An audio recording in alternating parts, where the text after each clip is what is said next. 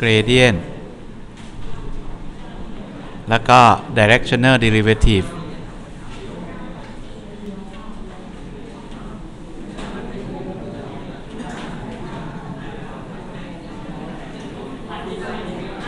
นะครับ เมื่อกี้เนี่ย เวลาเราเราคำนวณค่า x ถ้ามีฟังก์ชัน f(x) นะฮะ f(x,y) เราควร คำนวณ f(x) นะฮะหรือเราคำนวณ partial ของ z with respect to x อันนี้เราเรียกว่า partial derivative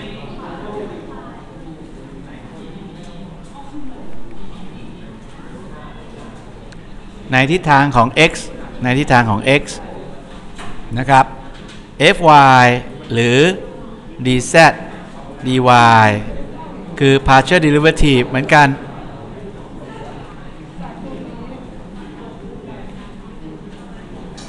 ในทิศทางของ y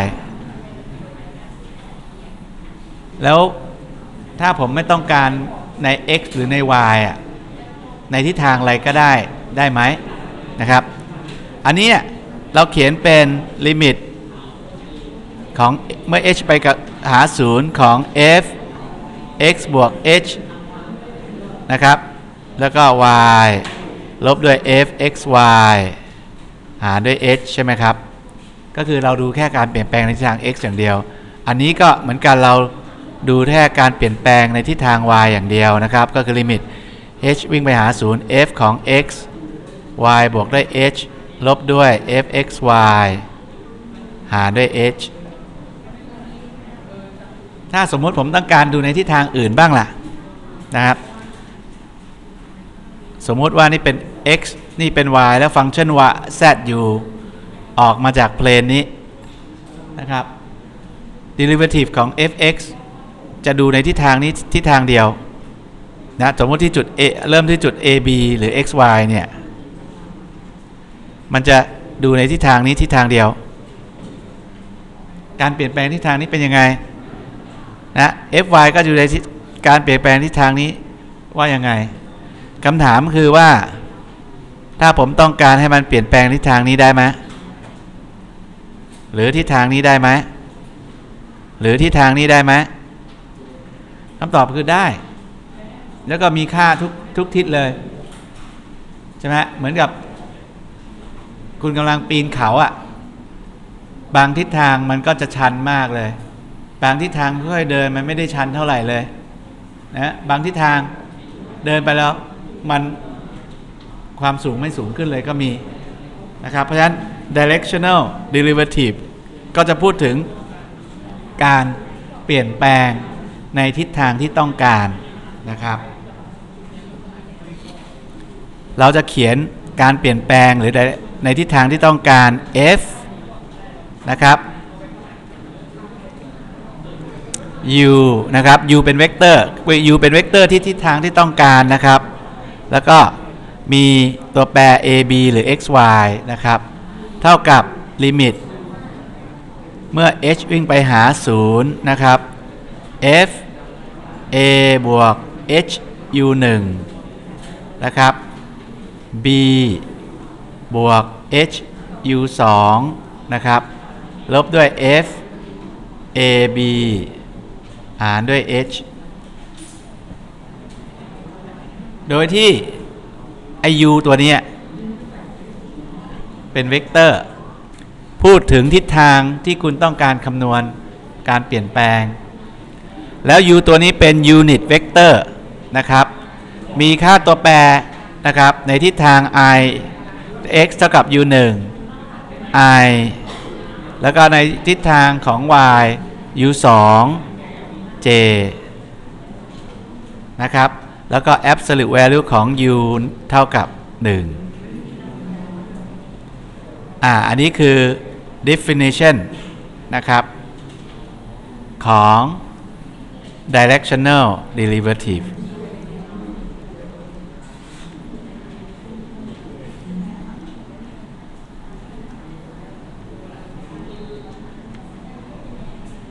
นะครับ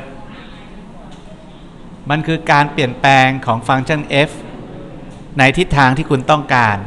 บอกมาเลยคุณต้องการทิศทางไหน แต่ทิศทางนั้นต้องพูดในเชิงของ unit vector นะครับเพราะฉะนั้นตรงนี้ถ้าคุณต้องการตัวนี้คุณก็บอกสิ unit vector ของเขาคือ สมมตินี่คือ x ไป 2 y ไป 1 ใช่ไหม2 i บวก 1 j อันนี้เป็น unit vector เปล่า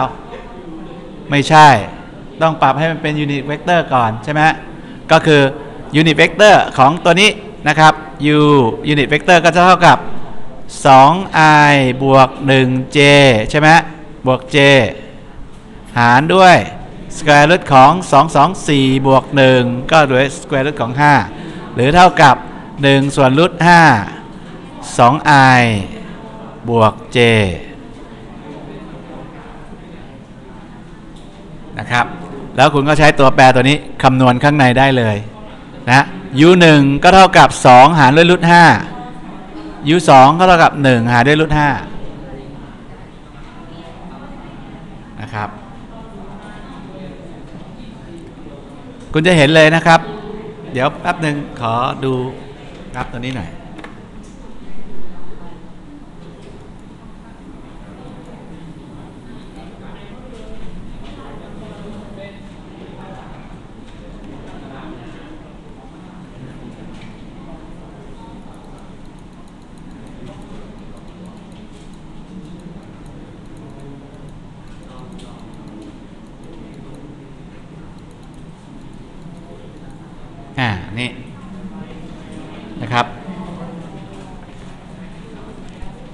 รูปนี้นะครับ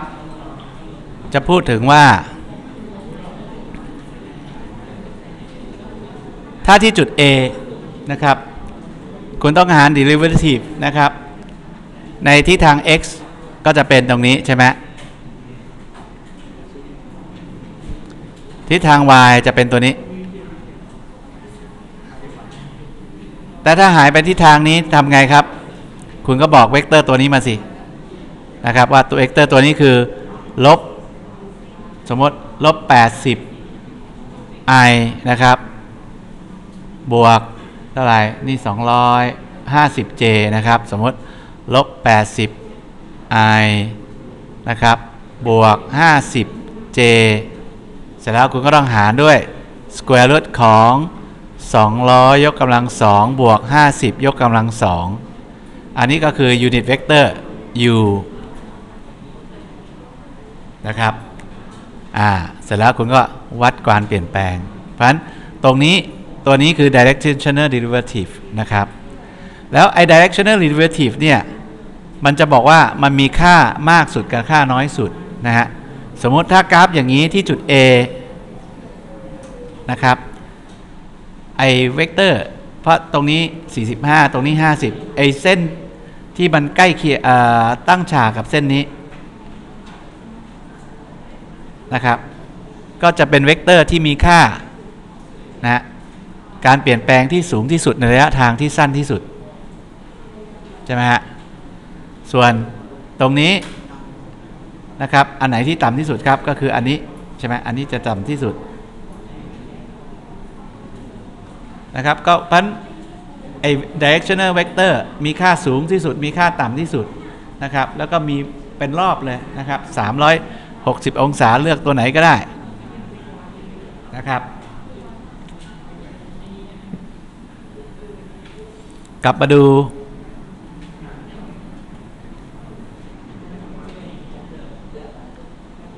ตัวนี้นะครับ ลองดูสมการนี้นะครับ ถ้าคุณให้ u u 2เป็น 0 คืออะไร คุณก็จะได้ ถ้า u 2เป็น 0 นะครับ คุณได้ f ของ ab เท่ากับลิมิต เมื่อ h วิ่งไปหา 0 ของ f a บวก h u 1นะครับ ลบด้วย f a b หารด้วย h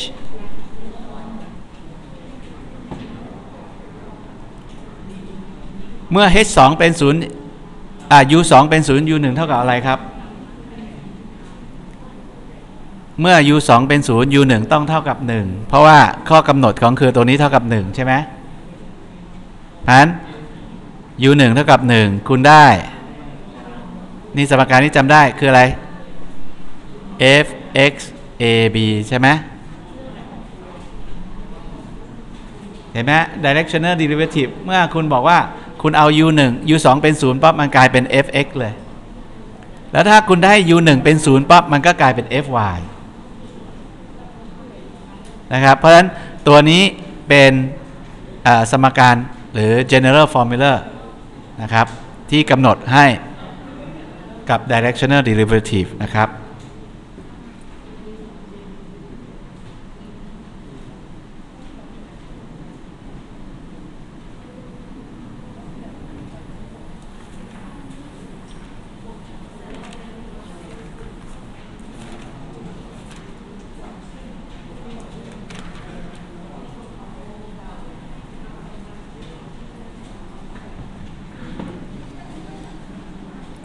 กลับมาดูสมการนี้อีกทีนะครับ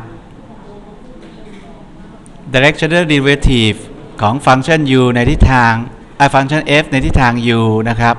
ที่ตำแหน่ง a b ก็เท่ากับลิมิต เมื่อ h วิ่งไปหา 0 ของ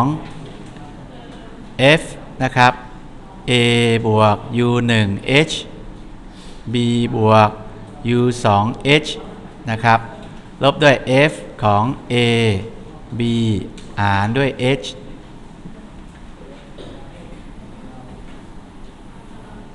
นะครับ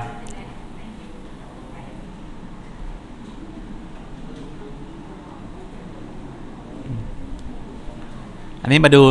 ตัวอย่างสมมติผมว่านี่เป็นแกน y นี่เป็นแกน x นะครับ อันนี้เป็นแกน z สมมติผมมี surface อยู่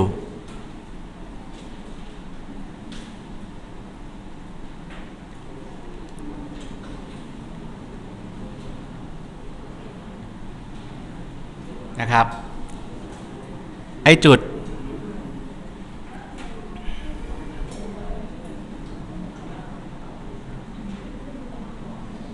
นะครับ ตรงนี้ถ้าผมจะวัดในทิศทาง x นะครับ ก็จะอันนี้ ใช่ไหมฮะ ในทิศทาง y ก็อันนี้ นะครับ แล้วในทิศทาง u ที่ผมต้องการก็บอกว่า u 1 h ก็บอกมาสิ u จะไปทิศทางไหนสมมติทิศทางนี้ นะครับเพราะฉะนั้นตรงนี้คืออ๋อขอโทษเอาใหม่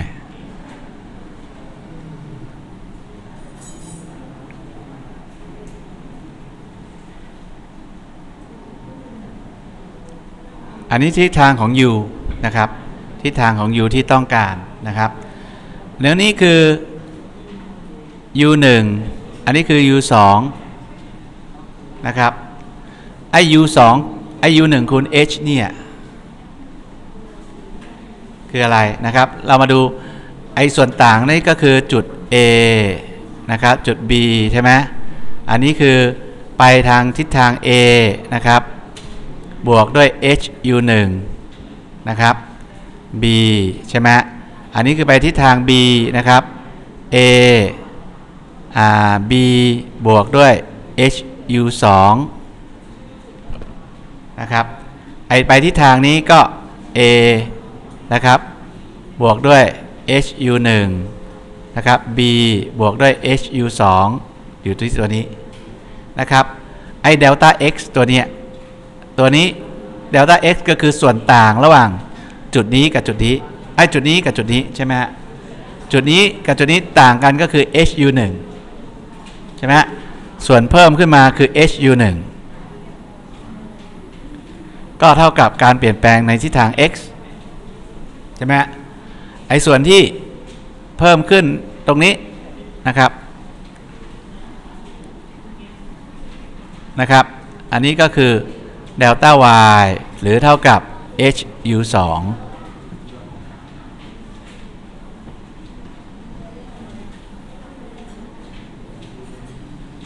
นะครับ แล้วการเปลี่ยนแปลงในทิศทาง z เป็นอะไรก็คือ ตัวนี้นะครับ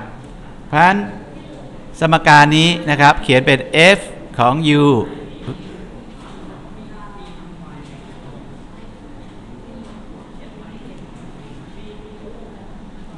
f ของ ab นะฮะ u นะครับ ก็จะเท่ากับลิมิต ของ h เมื่อ h วิ่งไปหา0ของ gradient ของ f หารด้วย h เอ้ย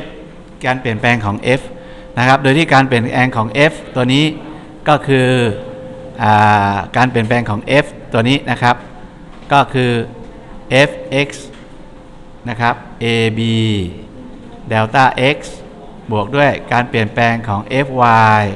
ab delta y หารด้วย h ใช่ไหมฮะ ตรงนี้คือการเปลี่ยนแปลงในทิศทาง x delta x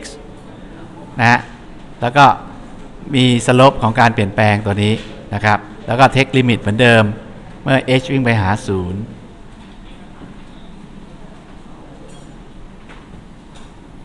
นะครับ แล้วไอ้ h delta x ตัวนี้ก็คือ h u 1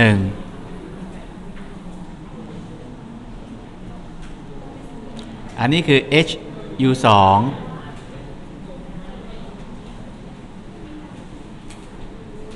นะครับไอ้ตัวบนนี้นะฮะที่เราเรียกว่าเมื่อกี้เราเรียกว่า differential ของ f ไง differential ของ f นะครับแล้วก็ให้เซตลิมิตให้มันเป็น0นะครับหรือให้จะไปเป็น 0 ตัวนี้เมื่อคุณเปลี่ยนแปลงเปลี่ยน change เปลี่ยนค่าเป็น delta f แล้วเนี่ยคุณก็ได้ลิมิตเมื่อ h วิ่งไปหา 0 ของ f(x) ab นะครับ h u 1 นะครับบวก fy ab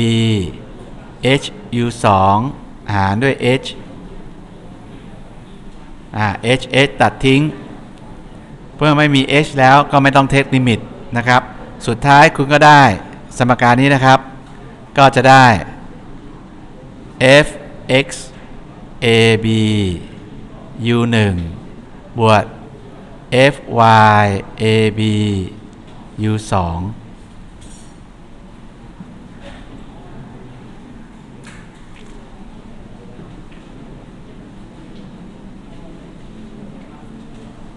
นะครับ เท่ากับ f a b การเปลี่ยนแปลงของ f ในทิศทางของ u นะครับ อันนี้เรียกว่า directional derivative เหมือนกัน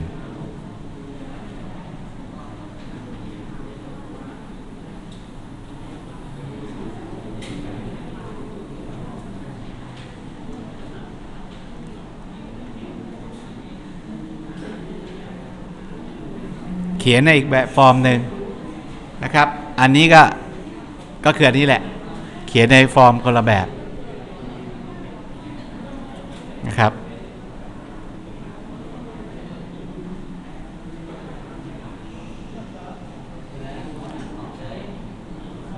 มาดูสมการนี้นิดหนึ่งนะครับ directional derivative ที่เขียนในทิศทางเขียนในรูปแบบของ fx ab u 1นะครับ บวก fy ab u 2นะครับ ตัวเนี้ยไอ้ u ตัวเนี้ยเท่ากับ u 1 i บวก u 2 j โดยที่ u 1 u 2นะเป็น component ของ vector u แล้วก็ absolute value ของ u เท่ากับ 1 ใช่ไหมครับ ไอ fx กับ fy ตัวนี้คือ derivative นะ partial derivative ในทิศทาง x ของ f และ partial derivative ในทิศทาง y ของฟังก์ชัน f สมมติผมเขียนเวกเตอร์ตัวหนึ่งนะครับ เป็น fx ab i บวก fy ab j y y ต้องเป็นห้อย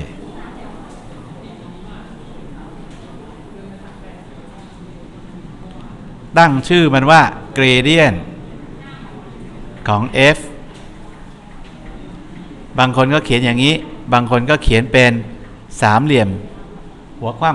ำนะครับ f gradient ของ f เป็นเวกเตอร์ ซึ่ง component คือ partial derivative ของ f ในทิศทางนั้น ๆ นะครับ ผมก็จะได้นะฮะ ถ้าสมมติผมให้ u เป็นตัวนี้นะครับ แล้วเกรเดียนของ f เป็นตัวนี้ f u นะฮะ ab นะครับ f ที่จุด ab ในทิศทาง u ก็เขียนเป็นเกรเดียนของ f dot นะฮะเกรดของ f dot เวกเตอร์ u ได้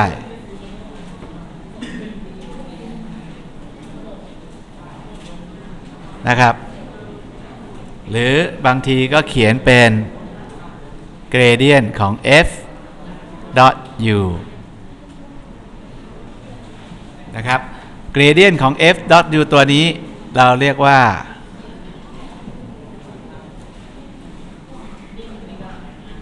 gradient vector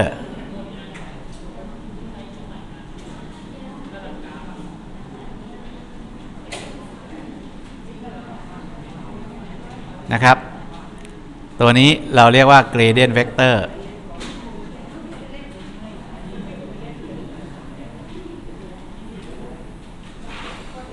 ก็คืออยู่บน surface ใช่ไหมอยู่บน surface ไอ้ gradient vector นะครับ คือเวกเตอร์ชี้ในทิศทางพิเศษ แล้วก็ทุกจุดมีแค่ตัวเดียว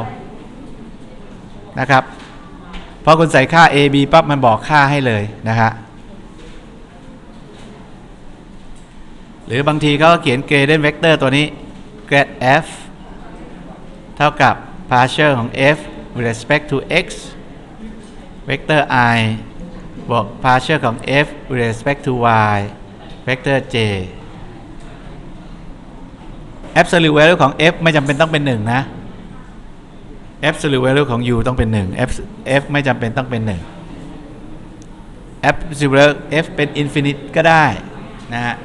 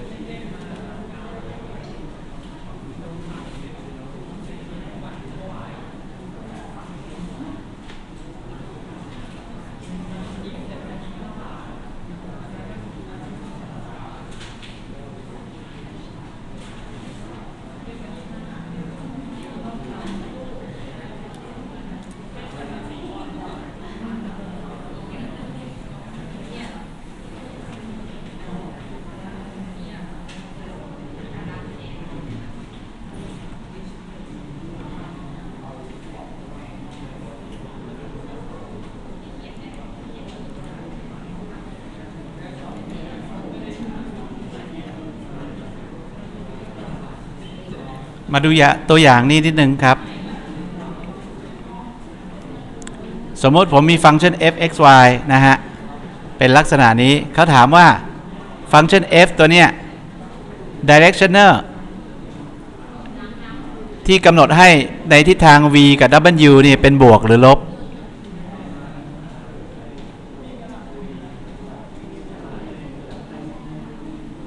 นะครับ ก็บอกว่า เขาอยากถามว่า directional เอ่อ derivative นะครับ ที่จุดจุดนี้ ในทิศทาง v เป็นบวกหรือลบ คิดว่าไงครับ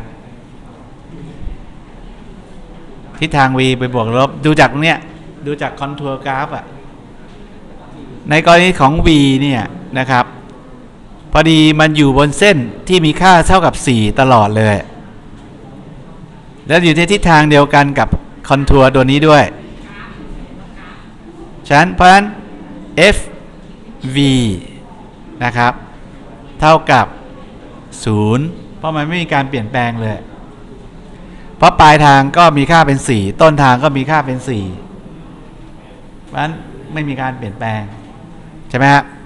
แต่ f w ล่ะ มีค่าเป็นบวกหรือลบ บวกใช่ไหมเพราะมันวิ่งไปจาก 4 ไปหา5นะก็เป็นบวกนะครับ มาดูตัวถัดไป แล้วตัวนี้ล่ะ fv เท่ากับเท่าไหร่ เป็นบวกหรือลบ อ่า เป็นลบนะฮะ น้อยกว่าศูนย์ใช่ไหมเพราะมันอยู่ที่จุดเส้นที่เท่ากับ 6 แล้วมันวิ่งไปหาเส้นที่เท่ากับ 5 เพราะมันลดลง แล้ว fw ล่ะ บวกนะครับ มากกว่าศูนย์นะฮะ มากกว่าศูนย์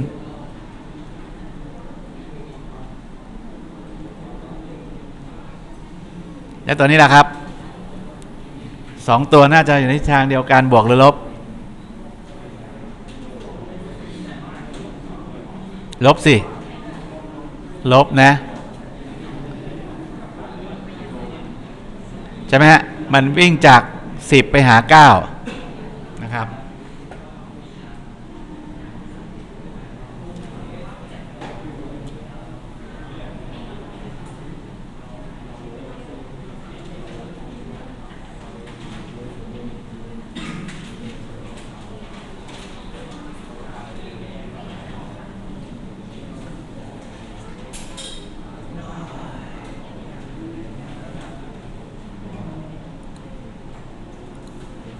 ข้อถัดไป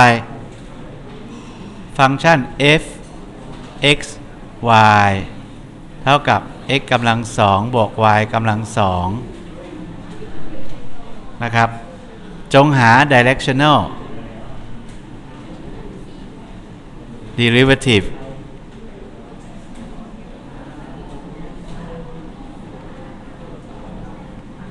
นะครับ ที่จุดนะในทิศทาง i บวก j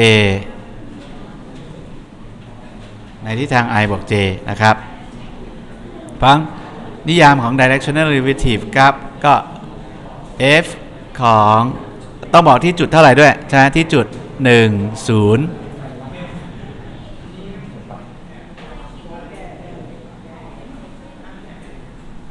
อะที่จุด 10 นะฮะ เพราะฉะนั้น fu ของ ab ที่ตำแหน่ง ab ก็เท่ากับ fx นะครับเดี๋ยวก่อนใช้ใช้นิยามเก่าก่อน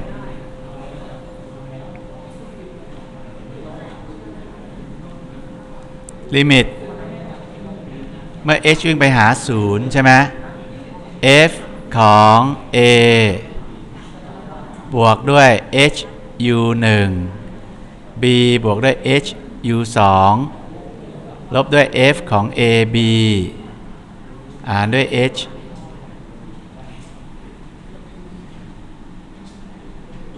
อะลองมาคำนวณนี่ดู f u นะครับ ของ 1 0 นะตำแหน่ง a เท่ากับ 1 b เท่ากับ 0 นะครับเอามาดูเวกเตอร์ก่อน เวกเตอร์ตัว u ตัวเนี้ยเท่ากับ i บวก j หรือเปล่า ต้องหารด้วย root สองใช่ไหมฮะก็คือ1บวก1นะหารด้วย root สองเพื่อให้ absolute value ของมันเท่ากับ1นะก็เท่ากับลิมิต h วิ่งไปหา 0 f ของ a เท่ากับ1นะครับบวก h นะครับ u 1ก็คือ 1 หารด้วยรูทสองนะครับ b ก็คือ 0 แล้วก็บวกด้วย h 1หารด้วยรูทสองนะครับ ลบด้วย f 1 0 หารด้วย h อันนี้คือใช้นิยามของเขาเลยนะ ได้อะไรนะครับ ได้ลิมิตเมื่อ h วิ่งไปหา 0 1 ส่วน h ใช่ไหมฮะ อันนี้ก็คือ f x y คือ x กำลังสองบวก y กำลังสองว่านี่ก็แบบ1บวกด้วย h หารด้วยรูทสองยกกำลังสองใช่ไหมบวก y กำลังสองก็คือ h หารด้วยรูทสองยกกำลังสองใช่ไหมลบด้วย f 1 0ก็ได้1ถูกไหม x กำลังสองบวกศูนย์กำลังสองก็ได้อันหนึ่งกำลังสองบวกศูนย์กำลังสองได้หนึ่งนะครับ อันนี้ก็เขียนเป็นลิมิต เมื่อ h วิ่งไปหาศูนย์1ส่วน h ของอันนี้ก็กระยะกระจายออกมาเลยนะ1บวก2 h หารด้วยรูท2ถูกไหมแล้วก็บวกด้วย h กำลังสองหารด้วยรูทสองกำลังสองก็เลยสองใช่ไหมฮะ บวกด้วย h กำลังสองหารด้วยสองอีก ลบหนึ่งหนึ่งหนึ่งตัดทิ้ง ใช่ไหมฮะ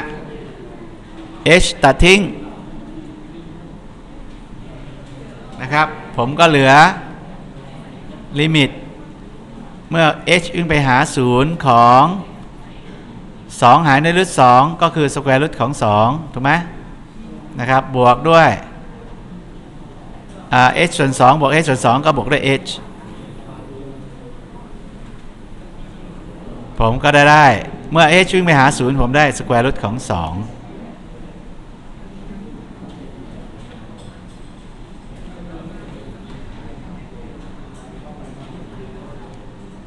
เห็นไหม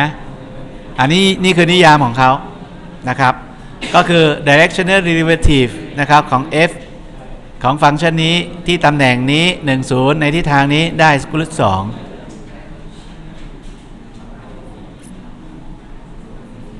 นะครับ เมื่อกี้เรามีอีกนิยามหนึ่งจำได้ไหมเรามีนิยามหนึ่ง f u a b เท่ากับ f x a b u 1บวก f y a b u 2 นะครับ ลองเหมือนเมื่อกี้ u 1เท่ากับ1ส่วนรูท2ใช่ไหม u 2เท่ากับ1ส่วนรูท2เหมือนกันนะครับ f x y เท่ากับ x กำลัง2บวก y กำลัง2ใช่ไหมอะ f x derivative อ่า partial ของ f with respect to x ได้อะไรครับ 2x ใช่ไหม partial ของ y with respect to อ่า partial ของ f with respect to y ก็ได้ 2y นะฮะเพราะฉะนั้น f(x) 1 0 ได้อะไรครับ 1 0 ได้ 2 ใช่ไหม fy 1 0 ได้ 0 สิ y เท่ากับ0น่ะ x ไม่มีค่า เพราะฉะนั้น f ในทิศทาง u ที่กำหนดไว้นะครับ 1 0 ก็เท่ากับ fx 1 0 คูณด้วย u 1รูท2บวกด้วย fy 1 0 หารด้วยรูท2ใช่ไหมอันนี้เป็น 0 หายไปแล้ว อันนี้ได้ 2 เพราะคุณได้ 2 ส่วนรูท2ก็คือรูท2นั่นเอง นะครับ เพราะฉะนั้นสมการนี้ ก็คือสมการนี้แหละนะครับ ก็คือสมการนี้แหละนะครับ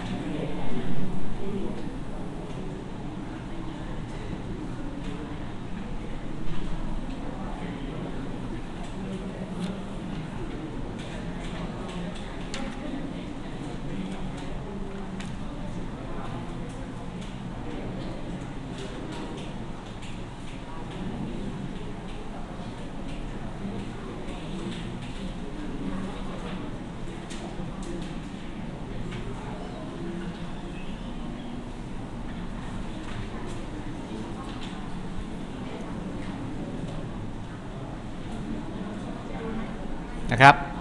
แล้วก็อย่าลืมไอ้ตัวนี้ก็คือ grade f gradient ของ f นะฮะ dot with vector u นะนะครับ เวลาคุณคำนวณตัวนี้คุณก็จะได้คำนวณตัวนี้แหละนะ มาดูตัวนี้บ้าง gradient ของ f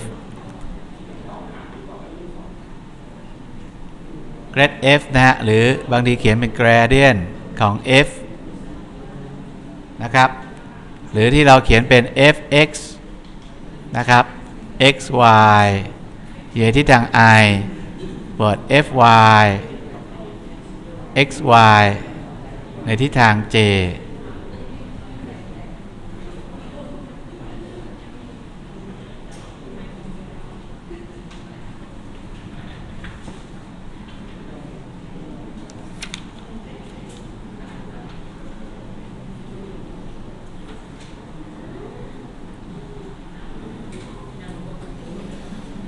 นะครับ มาลองคำนวณตัวนี้ดู สมมุติว่าฟังก์ชัน f x y เท่ากับ x บวกด้วย e กำลัง y จนจงหาเกรเดียนของ f ในทิศทาง อะ เกรเดียนของ f ไม่ต้องพูดถึงทิศทางแล้วนะจะบอกชื่อตำแหน่งไหนก็พอที่ตำแหน่ง 1 1อ่าก็จับ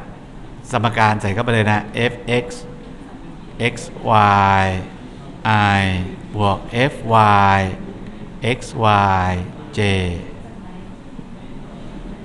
นะครับอ่าคุณก็ดิฟเลย ดิฟตัวนี้ได้ 1 ใช่ไหมอีหนึ่ง คูณด้วย i ดิฟตัวนี้ได้อะไรครับ ได้ e กำลัง y คูณด้วย j นะครับ1บวก e กำลัง y j เพราะฉะนั้นถ้าคุณต้องการเกรเดียนของ f ที่จุด 1 1 คุณก็ได้ i บวก e กำลัง 1 j หรือ i บวก e j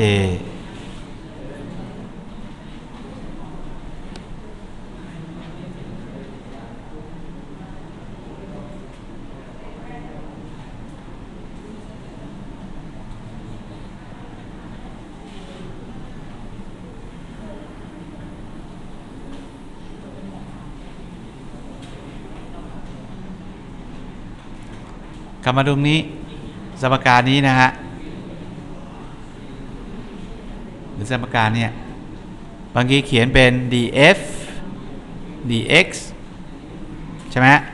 การเปลี่ยนแปลง partial ของ f with respect to x คูณด้วยเวกเตอร์ i บวกด้วย partial ของ f with respect to y คูณด้วยเวกเตอร์ j นะครับ ตัวนี้เท่ากับเกรเดียนของ f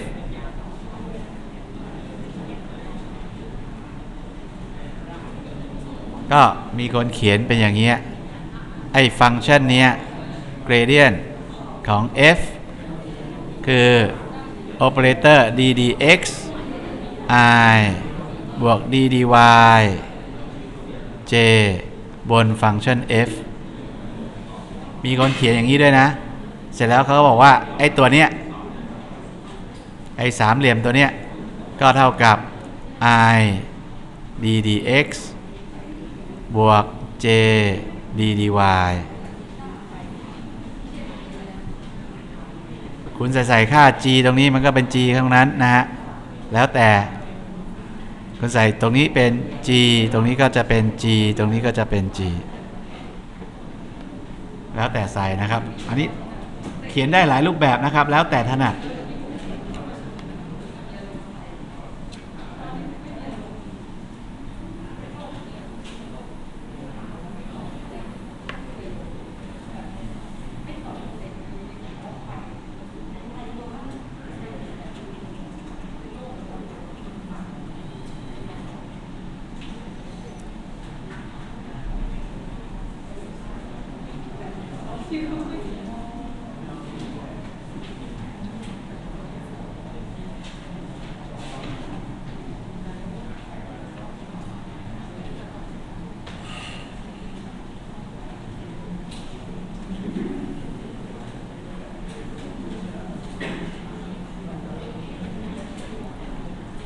โอเค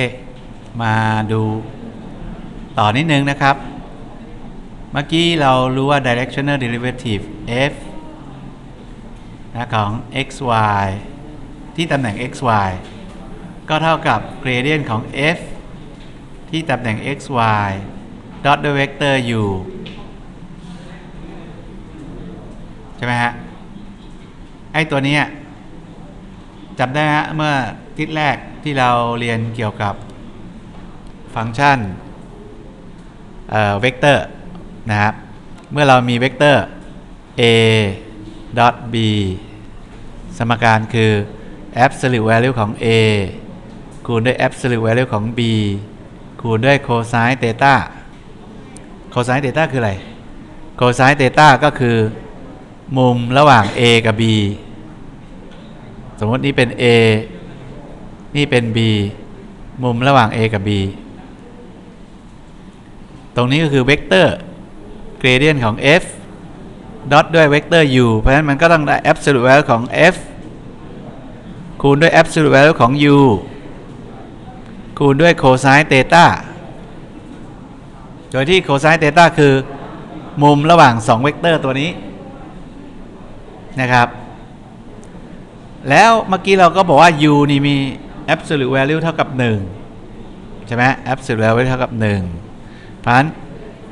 gradient ของ directional derivative ของฟังก์ชัน f ในทิศทาง u ก็เท่ากับ gradient ของ f cosine theta อ่า มาดู สมมติคุณมี slope อย่างนี้ คุณมาตั้งตรงนี้ ที่จุด A B หรือจุด x y คุณอยู่นี่นะครับ ไอ้ directional derivative ของคุณเนี่ยเวกเตอร์ u ก็คุณก็บอกมาเวกเตอร์ u คุณจะเอาอะไรเวกเตอร์ u ใช่ไหมแต่ directional grad- gradient ของ f เนี่ยเป็นเวกเตอร์ ซึ่งถูกกำหนดมาอยู่ในระบบแล้วนะครับกำหนดว่าให้อยู่ในระบบแล้ว gradient ของ f นี่ก็คือ theta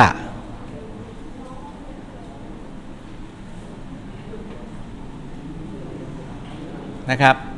theta คือมุมระหว่าง 2 เวกเตอร์ตัวนี้ เขาบอกว่า gradient ของ f เนี่ย จะมีค่า เอ้ย directional derivative จะมีค่าสูงสุดก็ต่อเมื่อเวกเตอร์ u นะครับ หรือทิศทางที่คุณต้องการเนี่ย อยู่ในทิศทางเดียวกับ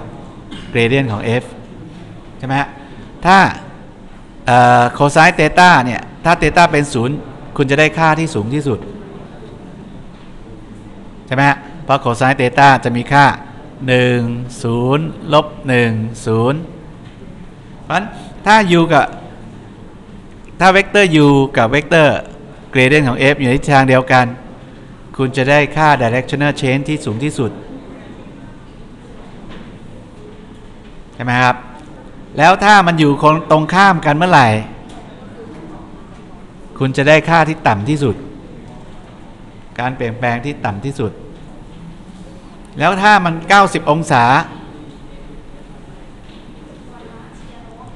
คุณจะไม่ได้ค่าเปลี่ยนแปลงอะไรเลย นะครับ ก็คือ directional derivative ของคุณจะเป็นศูนย์ถ้าคุณเดินไปทิศทางที่ตั้งฉากกับ gradient ของ f เพราะฉะนั้น gradient ของ f มีค่าแปลกๆหนึ่งนะฮะ เดี๋ยวมาดู property ของเขา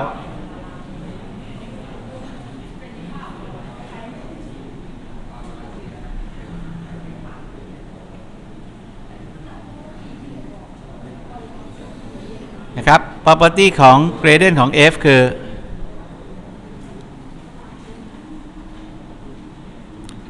หนึ่ง property ของเขานะฮะ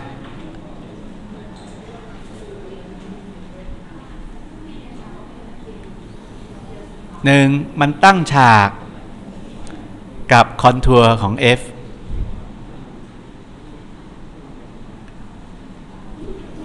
สมมติอยู่ใน contour plane contour plane จะพูดถึงอะไร พูดถึงเส้นนะฮะที่มันมีค่าเท่ากัน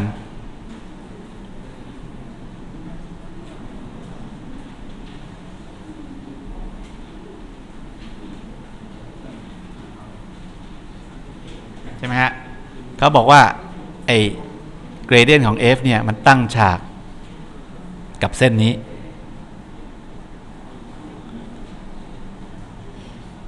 แน่นอน gradient ของ f เปลี่ยนทุกทุกที่นะฮะ gradient ของ f ตั้งฉากนะครับ แล้วก็สมมติจาก 4 ไป 5 3 2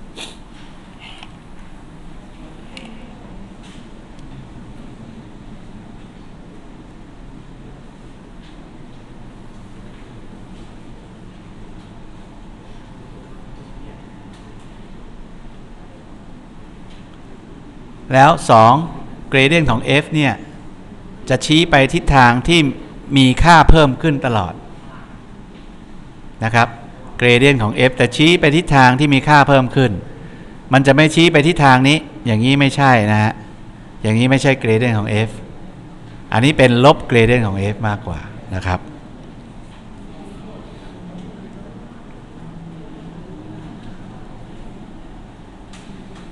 นะครับ สองก็คือเอ่อ in direction of increasing f 3 absolute value ของ gradient ของ f คือ maximum rate of change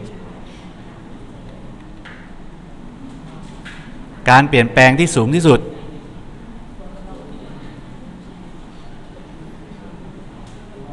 นะครับ มันจะชี้ไปในทางทิศทางตั้งฉากปั๊บมันชี้ในทิศทางที่เปลี่ยนแปลงที่สูงที่สุดแล้วก็บวกตลอดเวลาด้วยนะครับ แล้วก็ 4 นะครับ ถ้า contour line ที่มันใกล้กัน จาก 2 ไป 3 เนี่ย ค่า gradient of f จะสูงมาก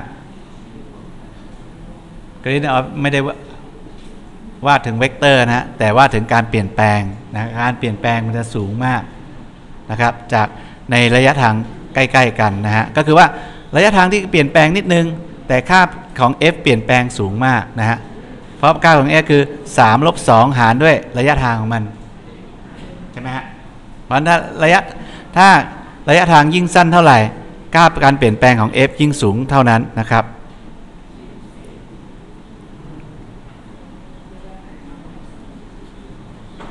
นะ cos contour line นะหมายความว่า large มีค่าของ gradient ของ f จะมีค่าใหญ่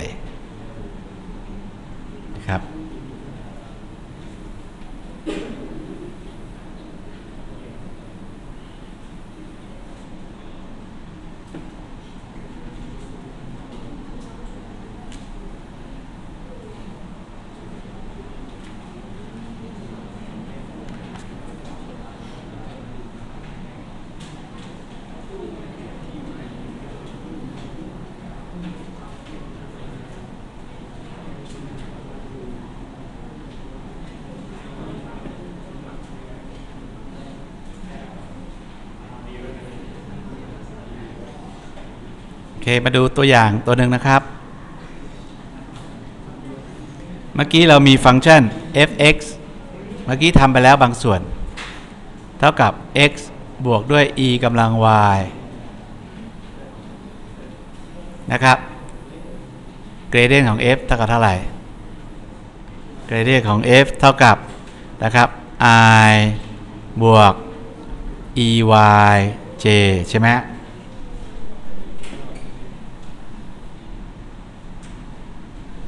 นะครับ แล้ว gradient ของ f ที่ตำแหน่ง x เท่ากับ 1 y เท่ากับ 1 ก็เท่ากับ i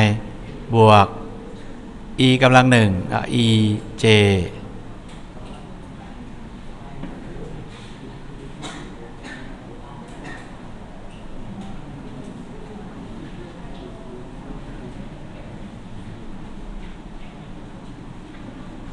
เขาบอกให้หา directional derivative นะครับ directional derivative ที่จุด 11 ชี้ไปในทิศทาง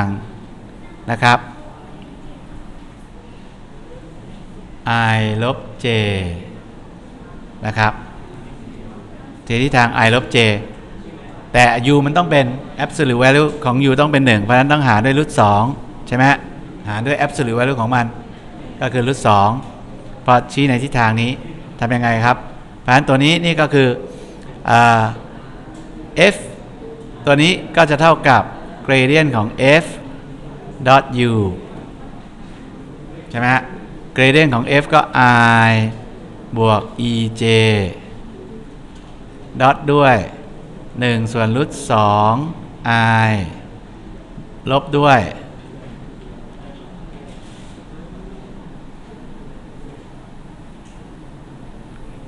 1 ส่วนรูท2 j ถูกไหมอันคุณก็คูณมาเลย อันนี้ก็ i i dot i ได้ 1 ก็นี่ 1 ส่วนรูท2นะครับ บวกด้วย j dot j ได้ 1 ก็ลบ นะฮะ e หารด้วยรูท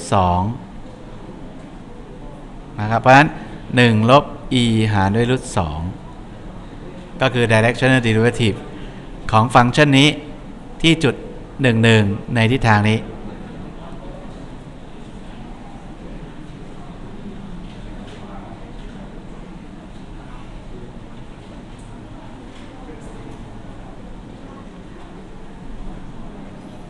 แล้วผมมุดผมต้องการ u ซึ่งอยู่ในทิศทาง 1 บวก 2j ล่ะ i บวก 2j ก็เหมือนกัน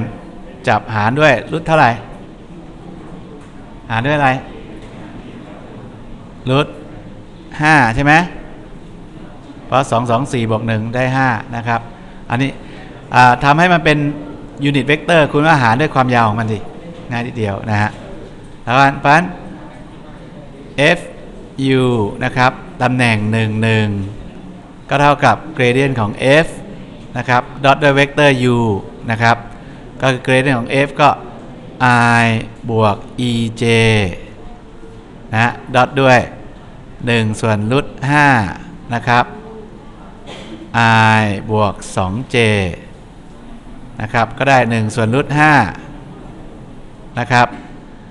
i dot i ได้ 1 นะครับ บวกด้วย j dot j ได้ 1 ก็ได้ 2e นะ1บวก 2e หารด้วยรูท5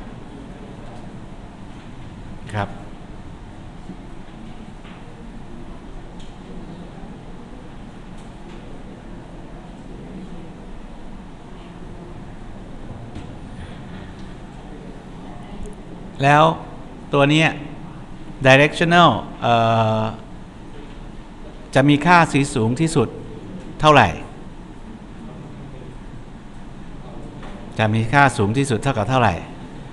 จะมีค่าสูงที่สุดก็เท่ากับ gradient ของ f ใช่ไหม absolute value ของ gradient ของ f ก็เท่ากับ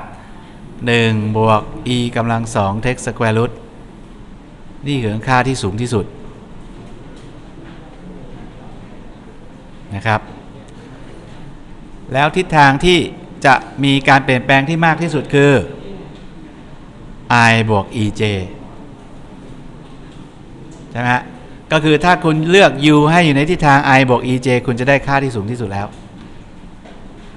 นะหรือ cosine t h เท่ากับ1 theta เท่ากับ0นะครับ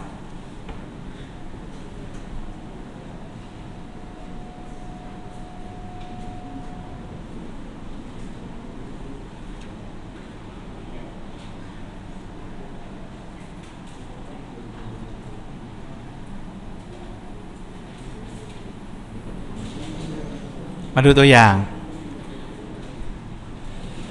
Q เท่ากับ 50K บวก 100 L จงหา directional จงหา gradient function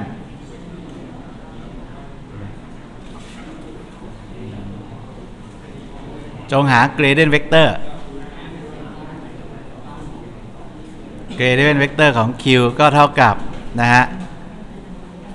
50นะฮะอุ้ยเท่าไหร่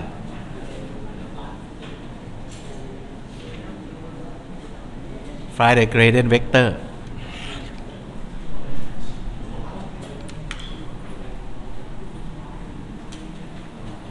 นะครับ ตัวนี้ก็เท่ากับ dq by dk นะครับ delta k บวกอะ dq by dk i ใช่ไหมฮะเวกเตอร์ i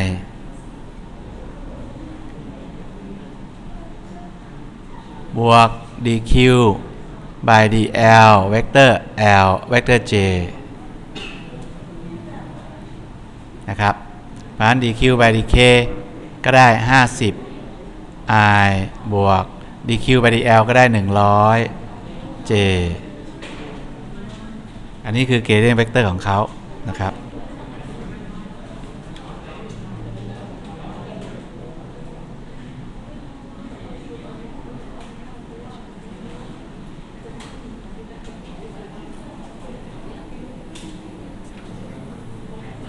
นะครับ ตัวอย่างถัดไป f r h เท่ากับ pi r square h จงหาเกรเดียนของ f เกรเดียนของ f ก็เท่ากับนะครับ f r i บวก f h j ตัวแปรมี 2 ตัวนะครับ f r นะฮะ ก็ได้2 pi r h i f h ก็เท่ากับ pi r square นะครับ แล้วก็ j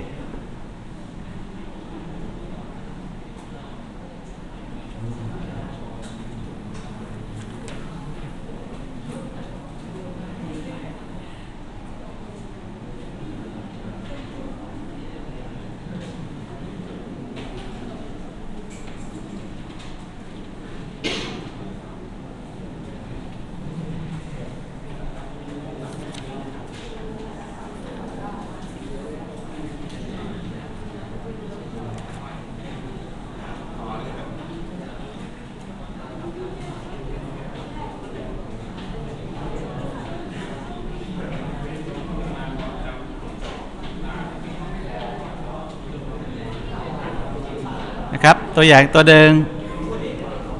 f x y เท่ากับ x กำลังสอง y กำลังสามจนหา gradient vector นะครับ ที่ตำแหน่งลบหนึ่งสอง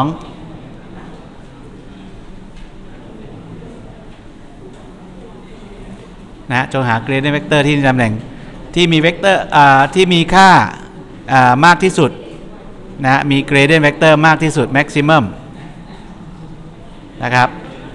เพราะนั้นคุณต้องหา gradient vector นะฮะ ก็คือ grade f ก็เท่ากับ 2x ใช่ไหมฮะ y กำลัง3อ่า i บวกด้วย 3x กำลัง2 y กำลัง2 j นะครับ กรเดียนของ f ที่ตำแหน่ง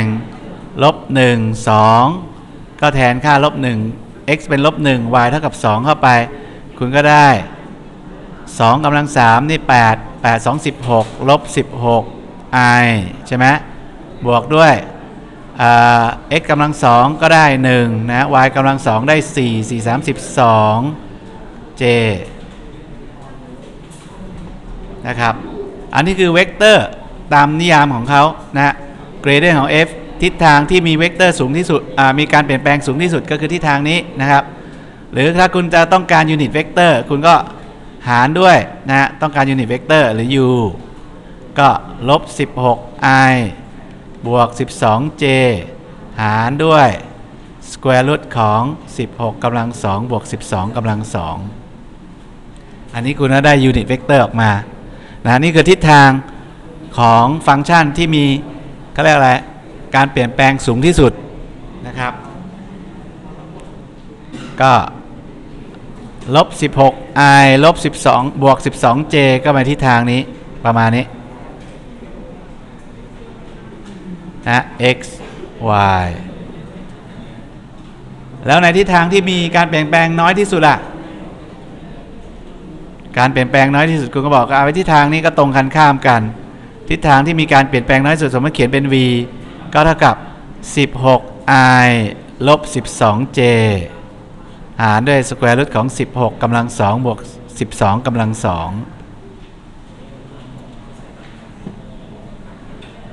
นะครับ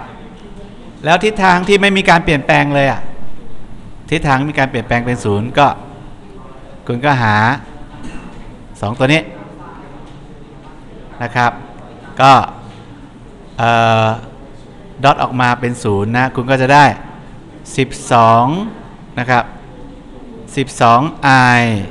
นะครับ 12i บวก 16j ตัวหนึ่ง